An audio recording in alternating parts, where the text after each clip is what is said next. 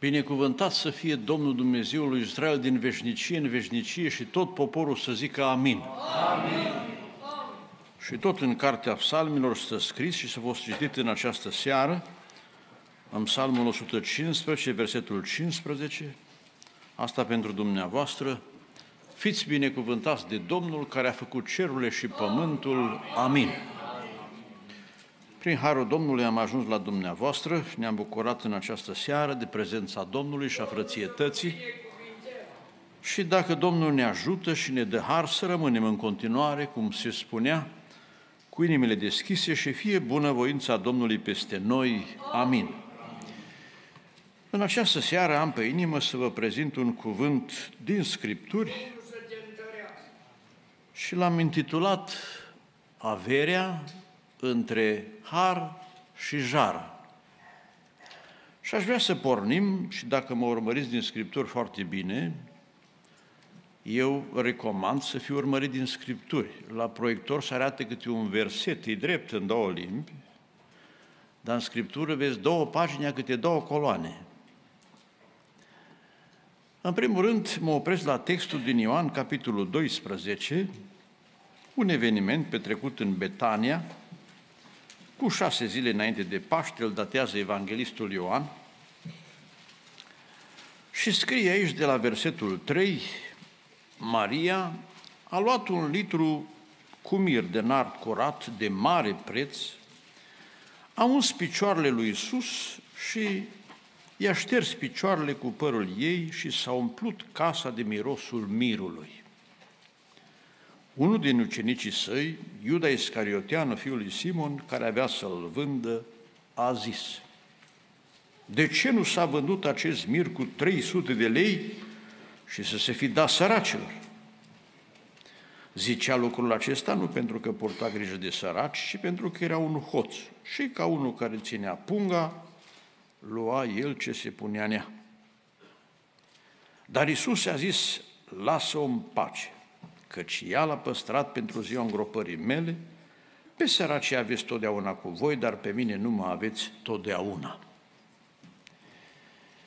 Evenimentele legate de moartea Domnului au fost măsluite cu bani. Și vă voi aminti îndată că și cele legate de înviere au fost măsluite tot cu bani. După socoteala sumei cât valora, după datele ce le avem, cu un dinar pe zi, cu un leu, am zice că a fost mare indignarea lui Iuda, acolo a fost un consum de un salar de aproape pe un an de zile. Și s-a dus totul. Bine că s-a dus spre slava lui Dumnezeu. În textele paralele din Matei 26 și Marcu 14 scrie că Iuda a reușit să-i provoace și pe unii dintre ucenici să fie indignați de risipa aceea. La ei a fost doar o slăbiciune, dar la el era o patimă. Nu știu cum a ajuns el casier și cu asta nu vreau să întristez vreun casier că de mare nevoie și toți administratorii adunării. Dar a avut slăbiciunea asta a banilor. Și pe fondul acesta și-a vândut și sufletul. Știți că de la acest eveniment a ajuns să-l vândă pe Domnul. Vă citesc ce spune Marco, capitolul 14, în textul de care aminteam, de la versetul 10, 11. Iuda Iscarioteanu, unul din cei 12, s-a dus la preoții cei mai de seamă să le vândă pe Iisus. A scăpat banii de aici și a vrut să facă alții. Când au auzit ei lucrul acesta, s-au bucurat și i-au făgăduit bani. Poate el a cerut. Și Iuda căuta un prilej nimerit ca să-l dea în mâinile lor, gândindu-se bietul de el la bani. Știți ce s-a întâmplat cu banii aceia? Spune în Matei 27, de la versetul 3, Atunci Iuda vânzătorul, când a văzut că Iisus a fost osândit la moarte, s-a căit, s-a dus înapoi cei 30 de arginți, a dat preoților și urma de seamă și bătrânilor și a zis, am păcătuit că ce-am vândut sânge nevinovat, ce ne pasă nouă? Treaba ta. Deci ei nu au vrut să ia bani înapoi, dar el nu i-a mai suportat. Iuda a aruncat arginții în templu și s-a dus de s-a spânzurat. Bietul de el. Mult n-a putut fenta că ucenicii au fost săraci. De ăștia 30 n-a avut noroc, cum zice românul. Și atunci mă întreb eu că de alte păcate a lui nu scrie în Biblie. Îi, pentru 15 lei să ajungi în iad. Când am zis de avere între har și jar, nu mi-a trecut prin cap să mă opresc numai la bogați. Și la toți în mâna cărora au intrat măcar 2 lei, dar e cineva care n-a avut măcar 2 lei și o văduvă a avut 2 lei. Iuda n-a avut niciodată mulți bani, dar s-a vândut bietul de el pe bani puțini. Iuda n-a avut mulți bani, dar a avut multă lăcomie de bani. Și asta este o mare problemă, chiar în spectrul religios și în slujbele sfinte. Vă amintiți de bietul Simon din Samaria ce cuvinte i-a spus Petru?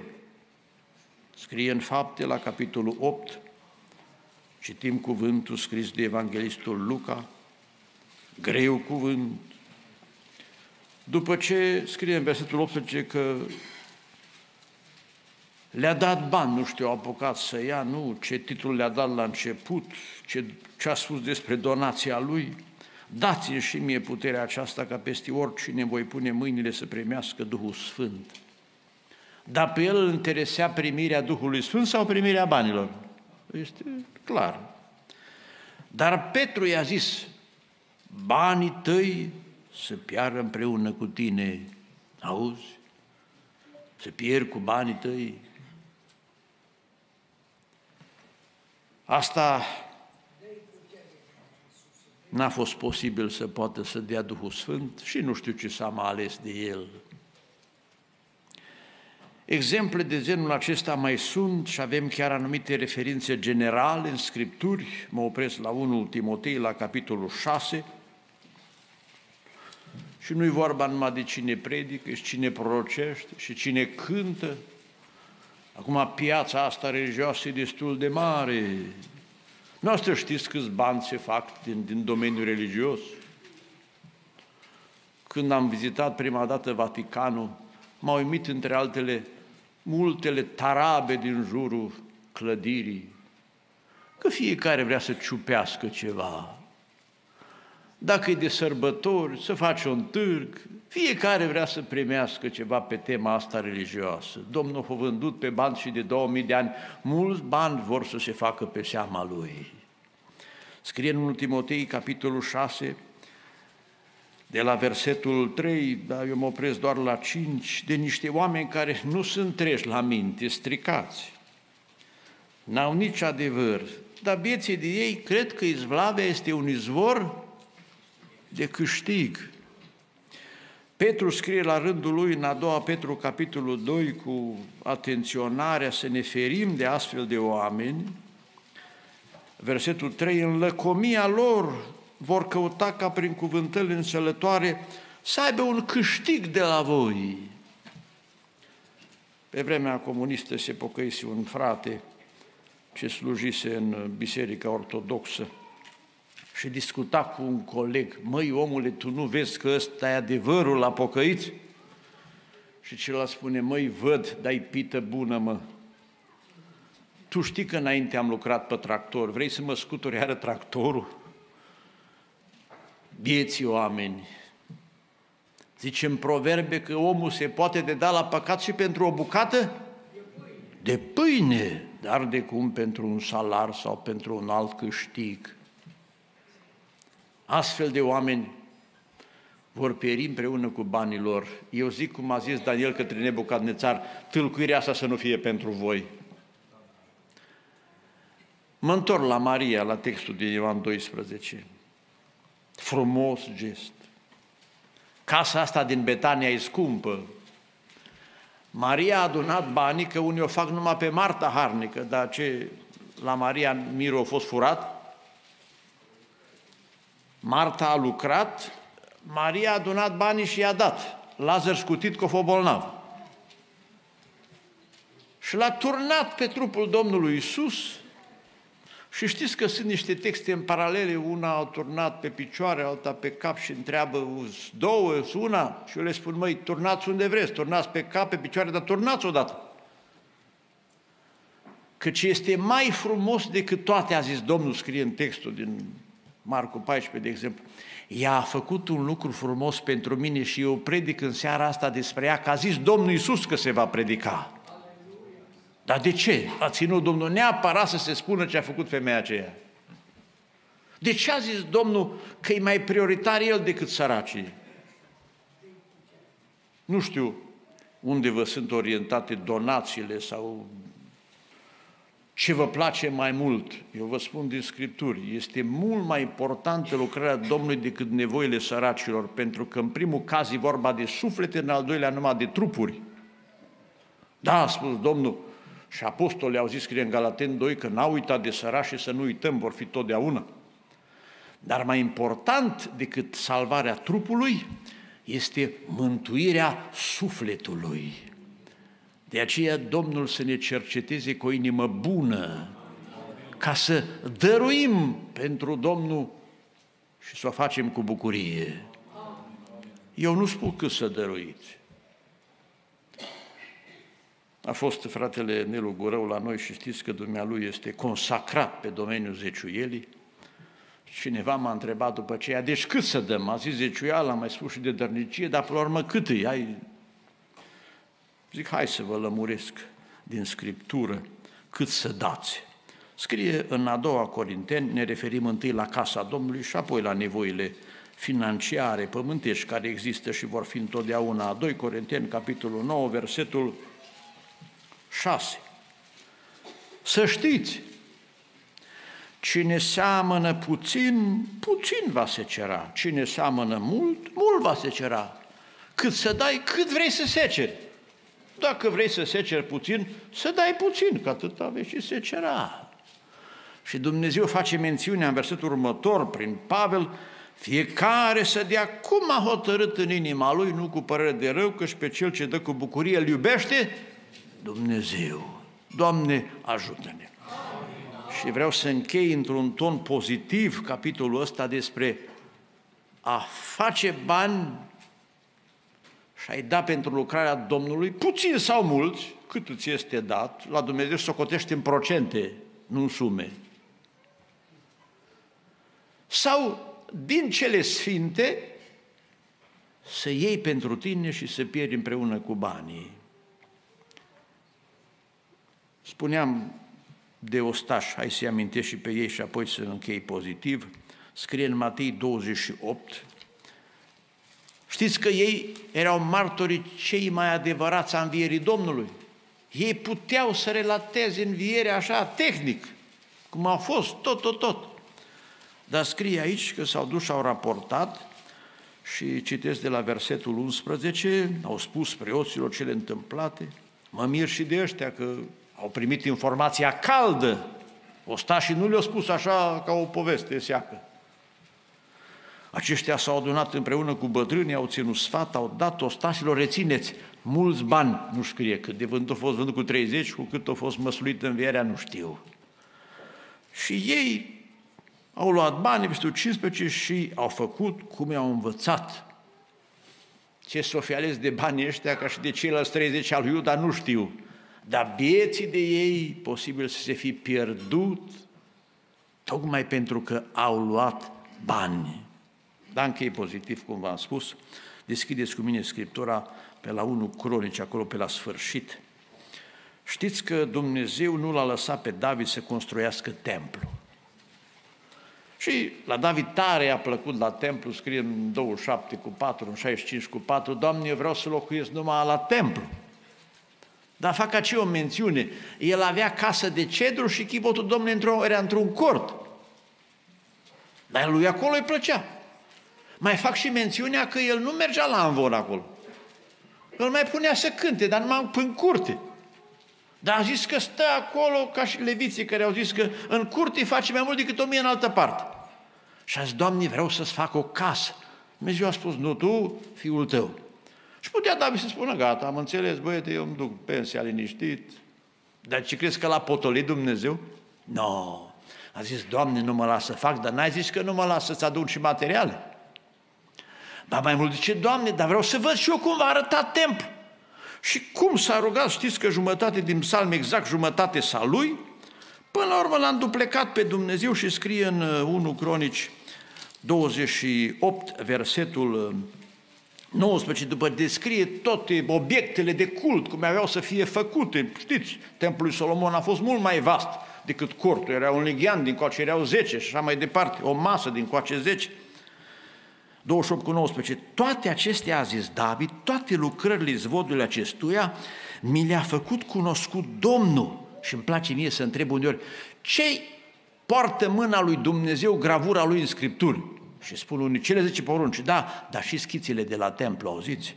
Mi le-a făcut cunoscut Domnul însemnându-le înscris cu mâna lui. Nici nu știu cum mi le-a dat lui David. Și în ce privește partea materială, averea ca un har, David a fost bogat, a cucerit în jur, a primit daruri, argint, aur, 29 cu 2. Asta îmi place enorm. Mi-am întrebuințat toate puterile. Era bătrân, mai a fost și bolnav apoi, pentru casa Dumnezeului meu, aur, pentru ce trebuie, trebuie și enumeră multe, e unul dintre cele mai lungi versete din Biblie, versul 2. Versul 3, este mai frumos. Mai mult, după ce a dat, a primit schițele, tot ce trebuie, atâta trebuie, gata, proces verbal, nu trebuie mai mult. Mai mult, în dragostea mea pentru casa Dumnezeului meu, dau casei Dumnezeului meu aurul și argintul pe care l-am, afară de tot ce am pregătit pentru casa Sfântului Locaș. Ăsta a semănat mult. Și enumeră cât a dat. Apoi asta i-a motivat pe căpetenii. Versetul 8, cei ce aveau pietre scumpe le-au dat. Versetul 9, poporul s-a bucurat de darurile lor de bună voie, că le dădeau cu dragă inimă și împăratul David de asemenea s-a bucurat mult.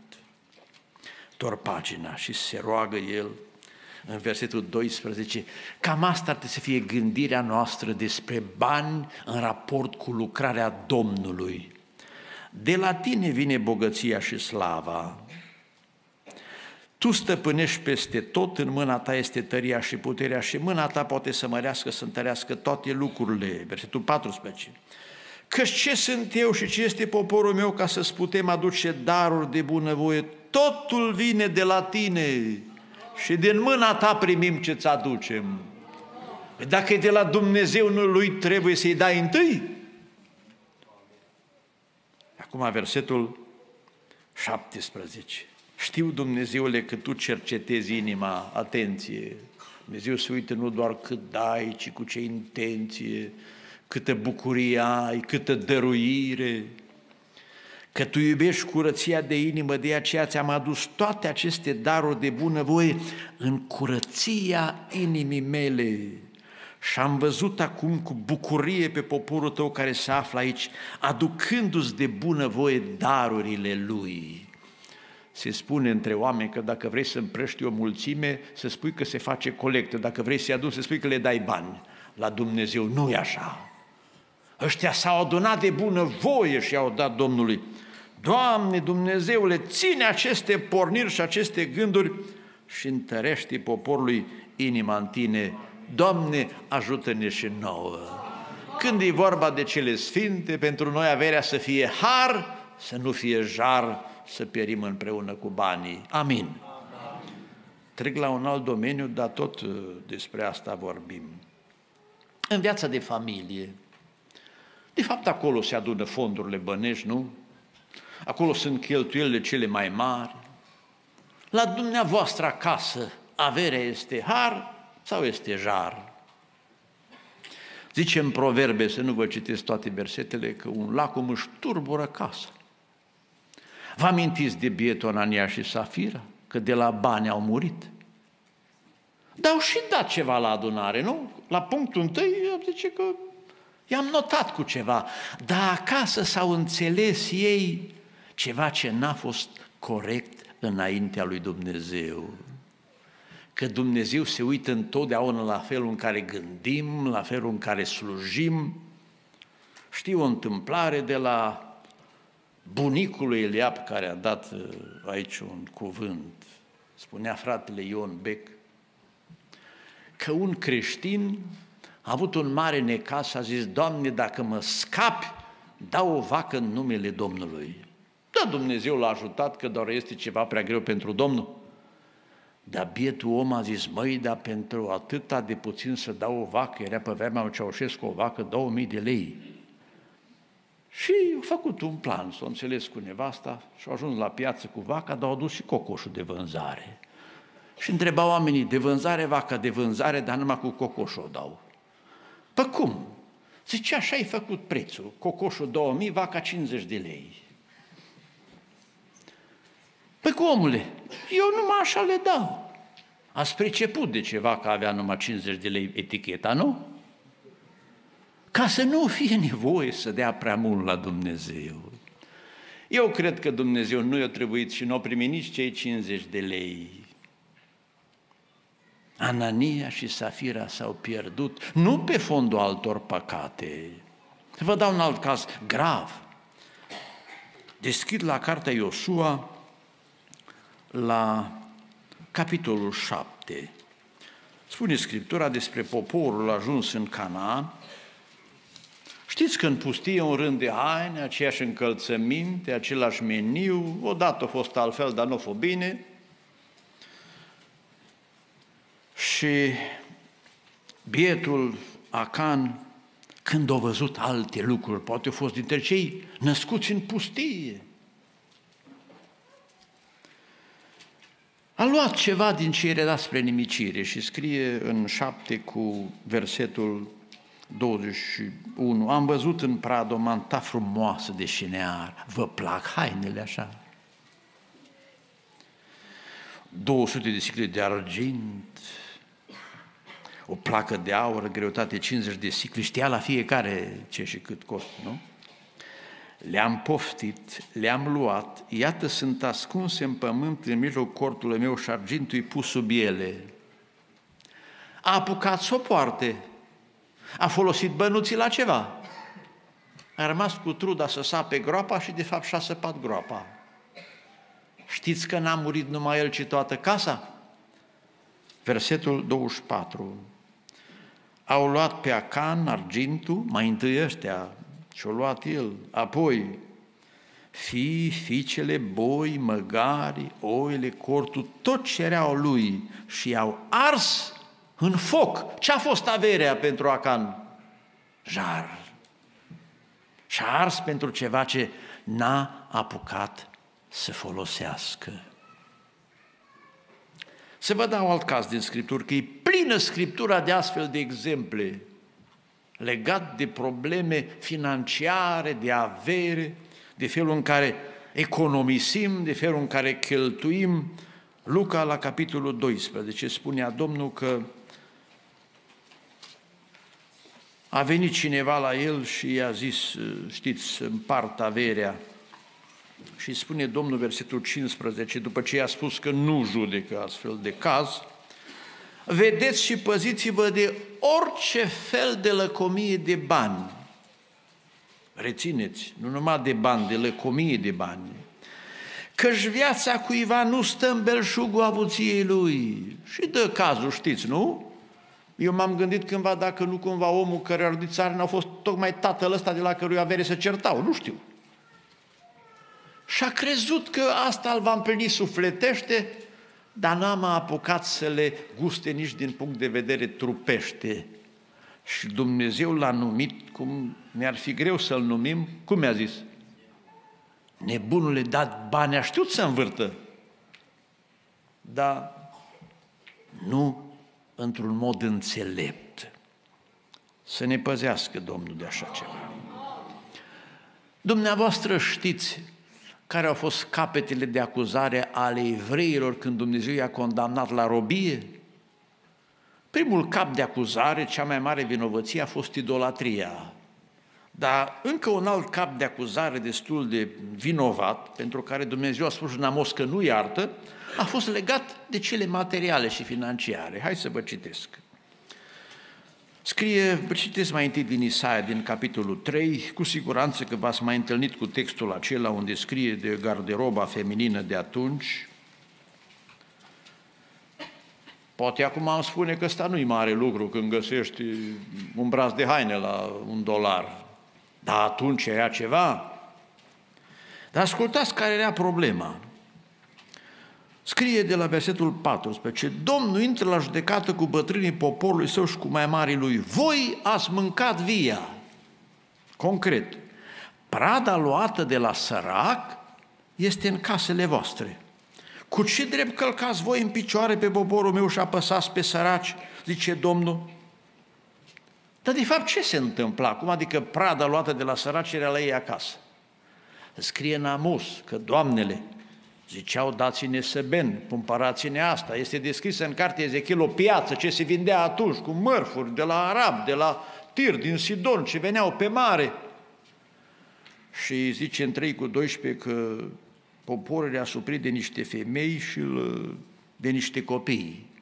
Acum, stimate surori și fetelor și băieților, voi la soți și la tați le pretindeți mulți bani. S-a dus o familie în vizită la alta și gazda arată mobila și sora Musafiri zice, și eu vreau să-mi cumpăr de asta. Și bărbatul mai cerebral spune, a, câte ore suplimentare înseamnă asta, credit. El a făcut deja socoteala. Și doamnele astea și copiii care vor și telefon, cum apare al model și haine și computer și mașină și toate. Și atunci nu puteai, că nu erau bani să iei pe credit, singura șansă era să înșeli, să nedreptățești pe săraci și să faci rost de bani, că acasă se cereau. Și scrie să vă citiți din Amos ce se întâmpla atunci și să sperăm că la dumneavoastră acasă nimeni nu se ceartă pentru bani și nimeni nu vrea mai mulți. Amos, capitolul 2, versetul 8, se întind fiecare lângă altar cu haine luate zăloc și beau în casa Dumnezeilor lor amenda celor osândiți de ei. Capitolul 8, versetul 4, mâncați pe cel lipsit, prăpădiți pe cei nerociți din țară, Zice, când va trece luna nouă, să vindem grâu și sabatul, să deschidem grânarele, să micșorăm mefa, să mărim ciclu, să strâmbăm cumpăna, să înselem atenție. Apoi vom cumpăra pe cei nevoiași pe argint și pe sărac pe o pereche de încălțăminte, că voia Doamna, cum scrie acolo în Isaia 3. Acum să nu se supere surorile, că sunt și unii bărbați lacom și vor multe, că ăla din pildă era bogat care se îmbrăca în porfiră și în subțire. Nu femeie. Domnul a jurat și a zis, niciodată nu voi uita niciuna din faptele lor. Scrie și în capitolul 5, aici cum se întindeau, e vorba de mobilă ce aveau, de ustensile, de bucătărie, capitolul 6, îi lăsăm în pace că s-au dus cu toate pe apă. Și mă întorc la Isaia 3 să vă dau o explicație. Știți ce s-a întâmplat atunci când în casele lor din punct de vedere material, a intrat lăcomia, a intrat nedreptatea și au fost corupți din acest punct de vedere. Versetul 25 din 3. Bărbații vor cădea uciși de sabie și viteji în luptă. Și acum 4 cu 1, aici e deslegarea. Șapte femei vor apuca în ziua aceea un singur bărbat și voi zice, atenție, vom mânca însăși pâinea noastră și ne vom îmbrăca cu însăși hainele noastre, numai să nu mai fim văduve. Întrebare. De ce au zis că se vor îngriji ele de pâine și de haine și nu vor cere asta la bărbați? Scrie în Exod 21 că un bărbat, dacă voia să mai ia încă o nevastă, că atunci era admisă poligamia, trebuia să-i asigure trei lucruri. 21 cu versetul 10. Hrană, îmbrăcăminte și dreptul ei de soție. Înțelegeți ce e asta? Și acum ele au zis, nu mai pretindem nici cât ne oferea legea, subzistență, hrană și îmbrăcăminte, numai de a avea bărbat. Dar până ați avut cum a fost? Păi am pretins marea cu sarea. Mă, băieți, voi să vă luați fete smerite, pocăite, cu astea nu o să aveți probleme ca și ăștia. Și feților și voi să nu vă luați neapărat după cei ce știu să învârtă bani oricum, că zice în proverbe să vă citesc ce ar fi de prețuit în privința aceasta și să mă ascultați bine ca să nu pățiți mai târziu, 19 cu 1. Mai mult prețuiește săracul care umblă în neprihănirea lui decât un bogat cu buze străcate și nebun. Dacă a făcut avere că Dumnezeu i-a dat o slavă Domnului că o să aibă și adunarea. Dar dacă a făcut avere într-un mod nedrept, atunci să nu ți-l dorești. Spune tot aici, în 22, ceea ce face farmecul unui om este bunătatea lui și mai mult prețuiește un sărac decât un mincinos. Doamne, ajută-ne să fim curați și corecți la noi acasă. Că vă citesc ceva din 1 Timotei, din capitolul 6, Hai să mă opresc așa și în Iacov la capitolul 5 ca să vedeți că acolo v-am spus că pentru unii jar.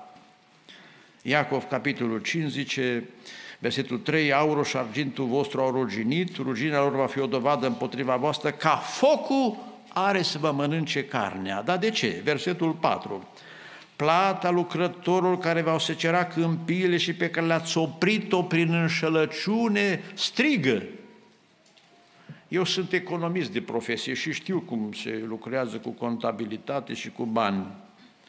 Te poți justifica atât încadrarea, cu atâta ne-am înțeles. Dar e și corect înaintea lui Dumnezeu felul în care s-a făcut târgul, înțelegerea? Sau va spune cineva cum scrie în Osea, zice, eu sunt un negustor corect. Dumnezeu știe fiecare cât este de corect și de drept. Că noi de când cu firme, cu intermediari, cu reclame, ci că unul vrea să-și vândă o fermă și o dă la o agenție și ticluiesc ăștia un anunț din ăla minune, zicea că e un peisaj pictat din rai. Și acum el căuta între anunțul să-și cumpere și el altă fermă și când o dat de anunțului nu băga să mai detalii și asta vreau să cumpăr, stai că asta e a ta. Păi asta nu-i bună, da, dar eu așa am colorat-o ca să o poți vinde. Și toate astea de regulă sunt în contabilitatea casei noastre. Și citez acum din 1 Timotei, din capitolul 6, și ce vă citesc e din Scriptură, greu m-am hotărât să vă predic asta, că am venit pentru prima dată la dumneavoastră, să nu creadă cineva că mă leg de voi. Da, dar știți cum îi? Hai să fac aici o paranteză. Noi, predicatorii, avem o mare problemă. Ce cuvânt să transmitem? Îmi spunea un prieten din Austria, a visat într-o noapte că a venit un bătrân în haine albe la el și zice, auzi, când o să te întâlnești cu Dumnezeu, nu o să te întrebe ce ai făcut, că ai vrut tu să faci. O să te întrebe dacă ai făcut ce te-a pus El să faci. Deci tu ai fost chemat să fii proroc. Dar de când tu nu mai prorocești și o dat cu număr câte prorocii trebuiau transmise, dintre care, i-au spus tot cu număr, câte erau de maximă importanță. Când mi-a povestit ce frate de o lună de atunci, dar stau cu teamă, mi-a spus că mă întreabă dacă am făcut ce m-a pus să fac. Și scrie Pavel în Corinteni 9, vai de mine dacă nu vestesc Evanghelia. Măi, așa liniștit dorm după ce am spus că asta trebuia să spun, acum că predicăm mai slăbuți, vorba aceea, uneori și când predicăm mai mult ne scuzați că un meseriaș mai slab cheltuie mai multă vreme pe o treabă care un meseriaș mai bun o făcea mai repede. Da, să putem transmite ceea ce Dumnezeu ne pune să spunem. Și sunt încredințat și liniștit că asta trebuia să spun. 1 Timotei 6, de la versetul 6. Negreșit. Mai, mai înțelegi românește ce înseamnă asta, nu? Adică e fără îndoială. Evlavia, acea stare care e valabilă pentru viața asta, cu continuitate în cea eternă, însoțită de mulțumire, este un mare câștig. Cum adică? Zice, noi suntem sărași de două ori, versetul 7. N-am adus nimic când venim, nici când plecăm, nu? Dacă avem dar cu ce să ne hrănim, nevoi interioare, cu ce să ne îmbrăcăm, nevoi exterioare, ne va fi? Dar cine trage linie și spune că e de ajuns? Acum ascultați. Nu scrie, nu știu care cât e de bogat, nu știu și nu mă interesează, n-am venit să fac revizie contabilă la nimeni.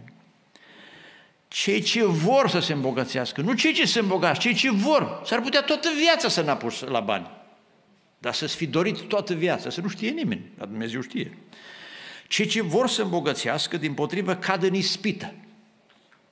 În laț, în multe pofte nesăbuite și vătămătoare, sărmane de ei, care cufundă pe oameni în prăpăst și pierzare, căci iubirea de bani este rădăcina tuturor relelor. E o mare problemă.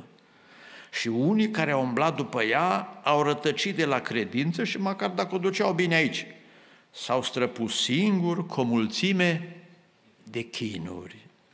Doamne, păzește-ne de așa ceva. Să ne rugăm ca înțeleptul că nu e ușor să fii bogat, cum nu e nici ușor să fii sărac tare.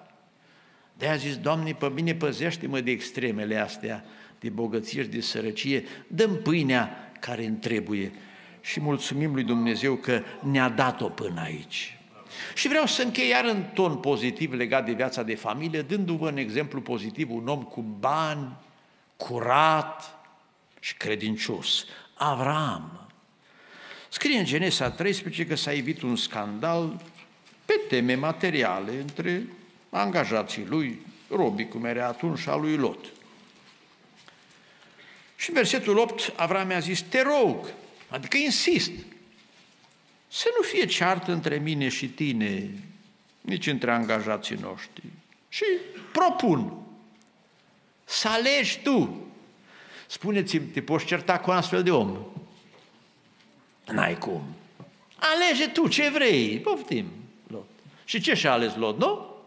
Cerea mai frumos. E ca și în întâmplarea aia cu doi copii, a fost o bucată de prăjitură mai mare și una mai mică și unul și-a ales pe cea mai mare și celălalt zice, bă, dar e frumos să alegi tu pe cea mai mare?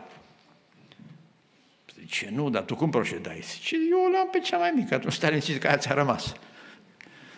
Dar câți dintre noi gândim așa sau facem așa? Și scrie aici în continuare că Lot și-a ales, cum știți, Sodoma, și ce și-au ales? Har sau jar? Jar. Au ars tot. Beata soția lui, după ce s-o fi uitat înapoi? Măi, când o să ardă America?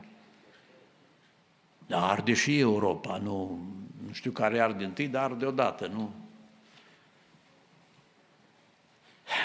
De ce să fi uitat înapoi? Nu știu. Dar scrie că Lot și-a ales asta pentru că era ceva acolo. Și ce îmi place, scrie în 14 cu 22, după ce în 21 îi spune împăratul Sodome, uite, știți cum e în război, e cu pradă de război, cu despăgubiri, zice, ține tu bogățiile pentru tine. Zice, îți mulțumit să-mi dai oamenii înapoi. Și Avram a răspuns, ridic mâna pe Dumnezeu care le-a creat pe toate, că și jur, stai gândit cu mine, că nu voi lua nimic din ce este al tău, nici măcar un fir de ață și o curea de încălțăminte. Că a zis Domnul Luca 16 cu 10, cine credincios în cele mici, credincios și cele mari, ce frumos! Putea să ia! Ar fi putut să zic că ai văzut lot. Le-ai vrut tu, dar mie, acum mi le-a dat Dumnezeu mie. Nu, no, n-a vrut să ia nimic. Și scrie în 15, în românește nu este asta în evidență, dar am înțeles că în originalul evreiesc este asta mult mai mult în evidență, unde spune Dumnezeu, eu sunt scutul tău și răsplata ta cea foarte mare, adică Avrame, eu te răsplătesc pe tine. L-a binecuvântat Dumnezeu pe Avram? Lot a rămas într-o peșteră, dar despre Avram scrie în 24 cu versetul 1, Domnul binecuvântase pe Avram în orice lucru. Și Avram, când a fost să cumpere un teren, știți, de cimitir, a vrut să el dea fără bani, l-a vrut fără bani? Nu. În casa lui n-a intrat nedreptatea, Dumnezeu i-a dat, dar a fost liniștit, așa să ne ajute Dumnezeu și pe noi. Să vă dea Dumnezeu, să stăpâniți cu bucurie și să știți că nu puterea mâinii noastre face să avem ceva, ci binecuvântarea lui Dumnezeu. Numele Domnului să fie slăvit. Și mi-a mai rămas un domeniu și mă opresc. V-am spus de bani în cele sfinte, v-am spus de bani și de avere pe acasă, dar noi mai avem încă un domeniu a relațiilor în societate. Aici cum facem? Îmi spunea un frate în Atena, avea o echipă care munceau în construcții. Și îl cheamă într-o zi un proiectant sau arhitect cerea și spune, auzi, facem o casă mare la un medic. Ce știi cum e la noi în Grecia, ca la voi în România, e cu bacșiș la medici. Ăștia au bani, facem un devis mai mare, am făcut calculul, mie rămâne 1500 de euro în plus și vouă la fiecare din echipă 500 de euro. Băieți, bani frumoși. Și așa la pripeală, românul inspirat pe moment, a zis gata. Dar fratele ăsta, Ghiță Barna, avea un grup care cânta, zice, după ce am făcut înțelegerea asta, nu mai puteam cânta. Și a rămas așa, nu mai știu, o stămână, două, se duce înapoi la proiectant, spune, domnule, nu-s de acord, nu pot, nu-i corect. Și a spus, ce crezi că mie îmi convine să pierd 1500 de euro, că aveți voi teoriile voastre religioase? Și fratele spune, m-am gândit și v-am adus banii, uite aici sunt 1500 de euro. Ha, mi dai mie? Aici chiar că sunteți proști. Nici o problemă. El mi-a povestit ce frate, când am ieșit de acolo după ce i-am dat banii, nu numai că puteam cânta, mi-a venit cântare să o compun. Trece un timp și ne cheamă. Spune, bă, vieți, hai încoace. De data asta am un proiect mai mare, dar aici nu se poate fenta, ăsta îl fac cu voi. Și ce Dumnezeu ne-a dat după aceea, că Dumnezeu vrea să vadă în societate, nu, că nu-i drept, cum au zis Voltaire, ateu francez, că atunci când e vorba de bani, toți oamenii au aceeași religie. Nu! Noi avem un Dumnezeu corect și curat, care ne cere și la capitolul bani, știți de bietul Balam? Un pocăit, proroc, ne-am dorit așa ceva, scrie în numeri că vedea vedenii cu ochii deschiși, auzi.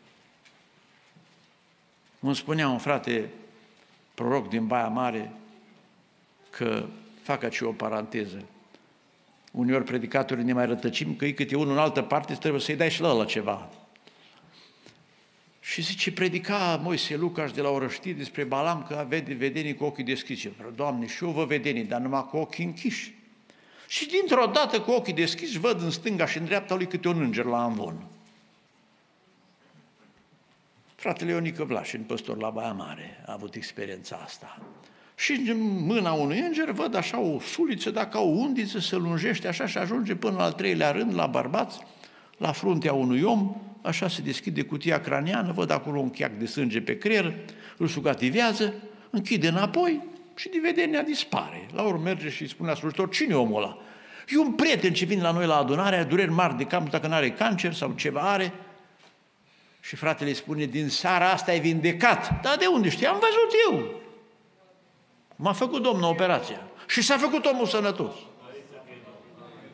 După o vreme s-a dus pe acolo și a spus, unde e omul la care l-a vindecat Dumnezeu sănătos? Sănătos, da? Nu s-a pocăit? Nu.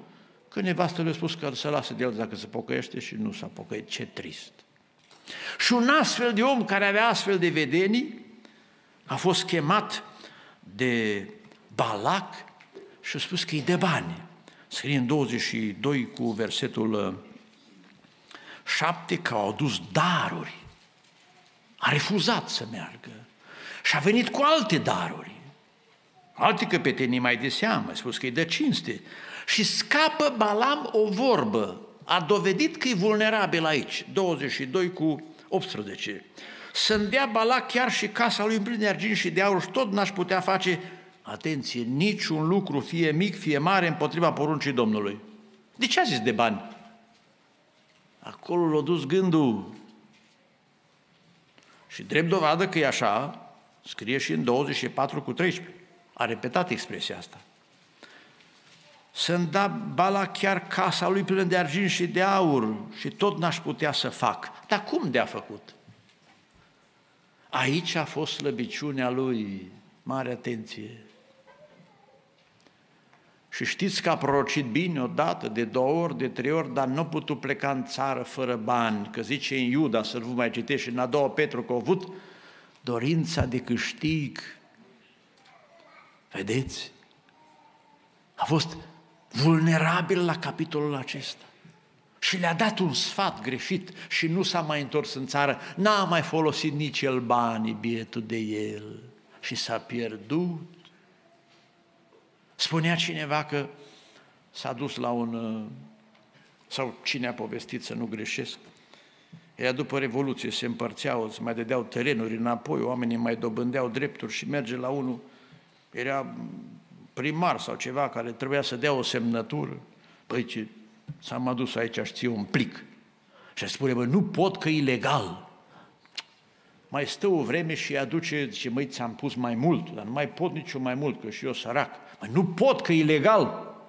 Și vine a treia oară, și acum am pus, uite cât ți-am pus.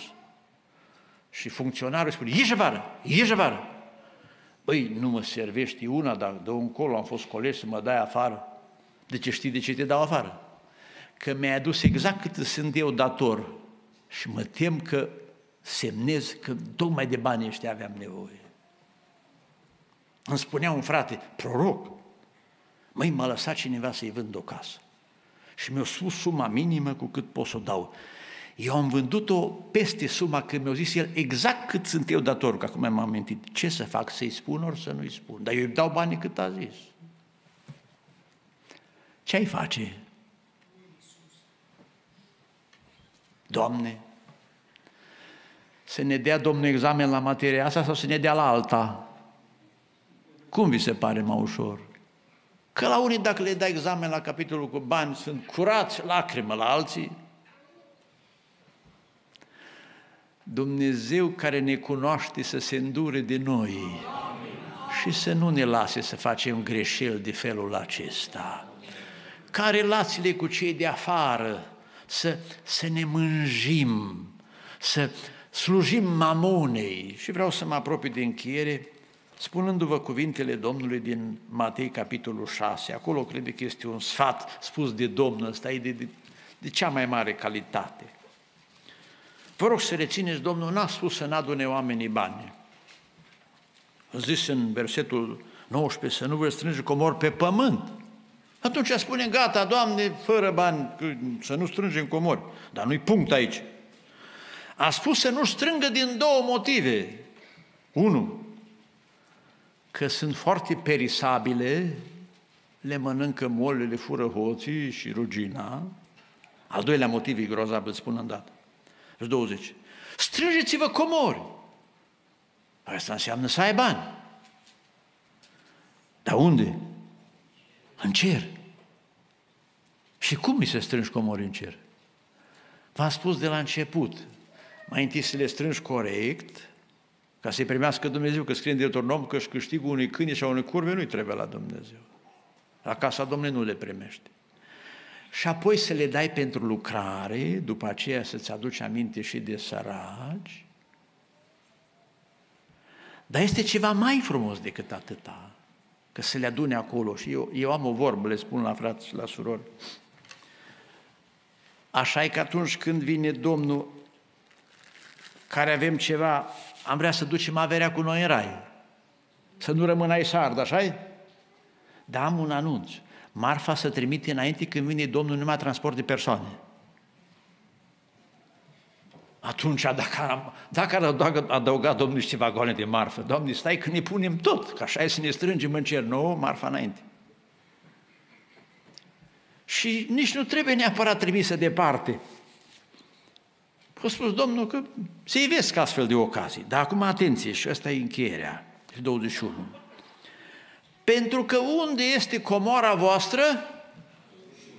Acolo este și inima. Și acum pun întrebarea de fond. Poate fi cineva pocăit adevărat dacă la capitolul material nu e în regulă? Nu. Unde e comoara și se referă la cele materiale, acolo ți este inima. Dacă ești corect la capitolul bani și avere, ai șanse să fii pocăit. Dacă la capitolul ăsta ai probleme, să nu îmi spui că ți este inima rai și mâinile băgate între amândouă buzunarele. Că nu se poate. Evreii au ieșit din Egipt cu daruri de la egipteni. Și tot le-a fost gândul înapoi la ce mâncaseră deja. Da, dacă ieșeau fără daruri. Da, dacă lăsau averea acolo. Îi scăpa Moise într-o noapte, nu mi-a găsea pe dimineața. Că Domnul știe că noi suntem oameni și suntem legați de materie, de existența asta. De aceea a zis Domnul să fim corecți, curați, să dăruim ca să fim mântuiți. Scrie în Marcu 10 că la, i-a făcut Domnul așa un film la bogat. Și a spus să-ți lipsește un lucru, să acolo, s-a uitat țintă, l-a filmat, așa a făcut raze, și l-a iubit. Și a zis, ți lipsește un lucru. Pe tine nu te pot mântui cu avere. Că ești prea legat de ea. Și Domnul a propus o afacere de nota 20. Urmau să vină romanii să distrugă totul, a spus, auzi, mută comoara în cer. Știți ce este acolo? Vei avea o, o comoară. Când au venit romanii, n-a rămas nimic de avere. Asta n-a înțeles, el n-a prins ideea asta. Că are în cer o comoară și apoi a spus să-l urmeze, poate îi dădea Domnul ceva darul și ajungea un ucenic de valoare. A pierdut de două ori. Că Dumnezeu nu doar că vrea să ne mântuiască, Dumnezeu vrea la întâlnirea din cer să ne și premieze. Dacă ești corect la capitolul acesta, unde ți este comoara, acolo ți este și inima. Și dacă ți-ai și strâns comori acolo, păi tu te duci câștigat. Ce frumos! Doamne, îți mulțumim că ai aranjat așa frumos lucrurile. Dumnezeu putea să ne amendeze când colo Dumnezeu cu ce ne-a dat, cu bogății nedrepte, vrea tot pe noi să ne premieze. O, adâncul înțelepciunii lui Dumnezeu. Dumnezeu să vă dea har. Să vă dea cele necesare, să strânge sus și să nu uitați versetul ăsta cheie. Unde ți este comoara? acolo ți este și inima. Fericita Maria și bietul Iuda. Unde a fost comoara, acolo a fost și, și inima. De aceea a spus Domnul scrie în 33, căutați mai întâi părăția lui Dumnezeu, căutați-o și sub acest aspect. Și Domnul să vă dea, am eu o vorbă care o spun, să vă dea Domnul și ce n-aș cerut. Și închei cu două, trei versete, câte sunt acolo, 1 Timotei 6, de la 17 la 19. Astea nu se poate să nu vă placă. Îndeamnă-i pe bogați. O să spuneți de nu suntem bogați. Hai, lăsați-mă că față de în Africa, și eu sunt bogat față de ea din Africa. Toți suntem bogați față de, de năcăjiția de pe nu știu de până Burundi și de până Guinea Bissau, că numai în capitală este curent electric, auzi? Să nu se îngânfe. Se spune că la evrei nu se zice eu am și la mine se află. E mare diferență. Apoi, doi, să nu spună nădește niște bogății, niște statornici, averea cu aripi. Scrie în Biblia asta. Ci în Dumnezeu, ascultați, care ne dă toate lucrurile și ne le dă din belșug să ne bucurăm de ele îndeamnă-i să facă bine și asta am încercat să fac. Să fie bogați în fapte bune. Auzi, unii sunt bogați de trei ori și unii numai o dată. Unii sunt bogați numai aici, alții sunt bogați de trei ori. Bogați aici, bogați în fapte bune și bogați în rai. Interesant, nu? Asta vrea Dumnezeu, să fii bogat de trei ori. Să fie bogați în fapte bune, în, să fie darnici, gata să simt împreună cu alții așa ca să strângă pentru vremea viitoare, drept comoară, o bună temelie pentru ca să apuce adevărata viață. Doamne, ajută-ne să ajungem bogați în adevărata viață. Amin.